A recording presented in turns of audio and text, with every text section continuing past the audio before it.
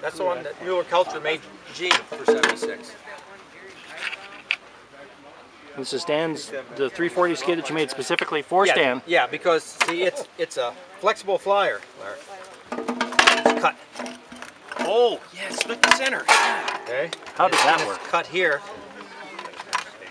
the reason he wanted to do it, because the old 73 Starfires were the extruded aluminum towers and everything. Nothing was connected, so they would actually flex.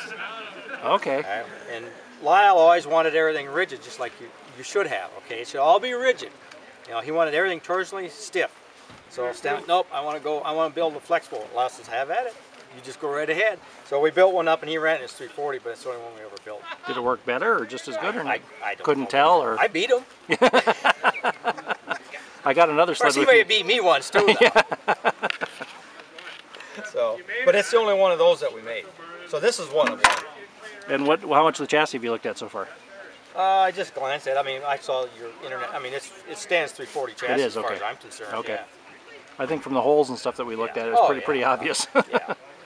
You know, and then I know people comment about. You know, we made some with 4130 chromoly tubing and some with aluminum.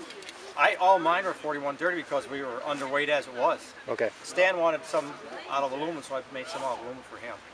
You know, so I, his 250 might have been aluminum. I don't remember. Maybe the 440 because it was a bit heavier. But so he had a couple aluminum. but I, I ran all 4130 because we were underweight as it was. You had to put ballast in. And nothing was standard on any sled, I assume. No, like I said, everyone was hand built, hand fitted. Everything was fitted in a little, you know, roughly the same, but nothing was ever. Dumb, qu- dumb question, but are the bulkheads on these different from a standard twister? Well, no, we started with the stampings. The, the Okay. bulkhead stampings were production, and then we just we took them before they put holes in, and we we did everything else ourselves. You know, so like the the close-off plate panels, top and bottom, we made ourselves. They're- Those are just out of you know solid stock. But the side panels we started with the production bulkhead.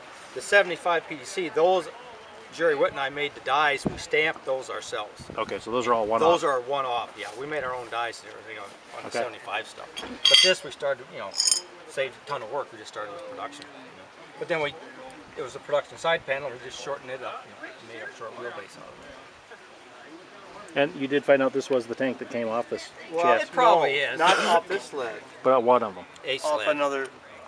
Uh, Boz, he knows. He's talked to the fellow that owned it. It came from just a guy known as Satan's Twisters off the website.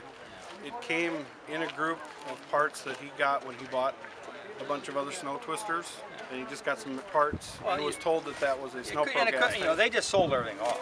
Yeah. So, I mean, What- and, and we probably had a couple spare tanks that got sold. I, But a lot of the tanks, Doug, uh, see the two welds? The one up here and the one there on the band. right?